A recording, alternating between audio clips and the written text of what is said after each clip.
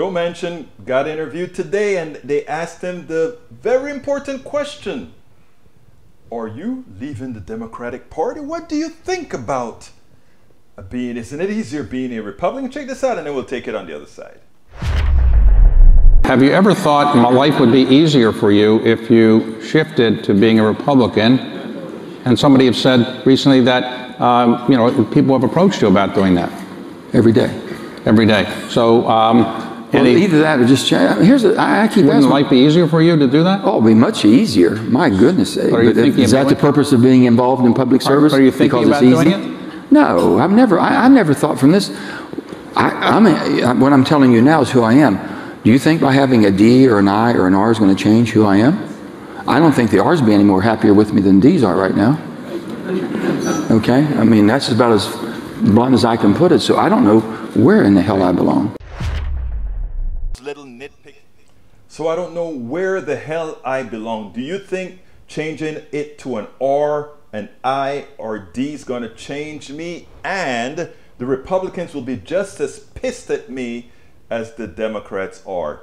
Believe it or not, I kind of like the answer. Now, I don't like the morals behind what he stands for, but I think there's a certain ring to that answer, and there's another important piece. For now, he's still caucusing with the Democrats because he does realize his power only lies within the Democratic Party that has a slim majority with the vice president.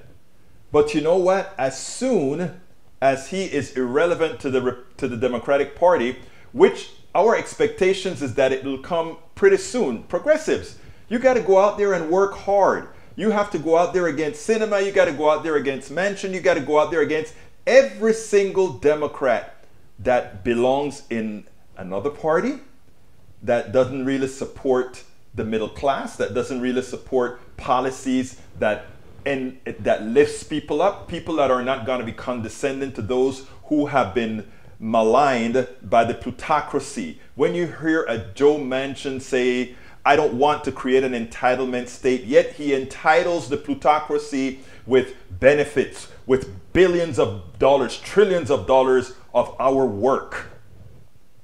You know, we have to rid ourselves of those. Right now, we need Joe Manchin. Right now, we need Kyrsten Sinema.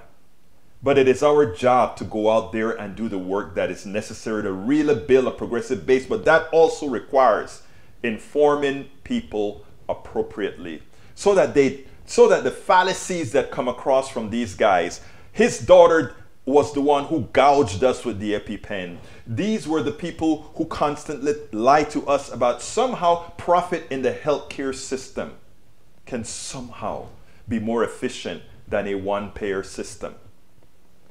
The fallacies of many of the people in our own party has to end, and it ends by progressives getting them out in the long run, but playing ball when necessary to attain the ultimate goal. So, where do you belong?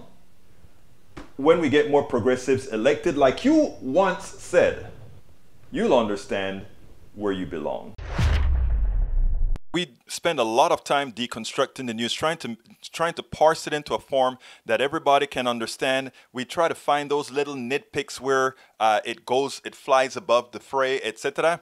If you really like these videos that we do, I want to ask a big favor. Please go ahead. Number one, subscribe to our channel, and number two, please join if you can. Thank you so kindly for watching. Keep watching. Please remember to share. We must populate the entire internet with our progressive message, a message that we know is what most Americans say that they want. So help us, please join.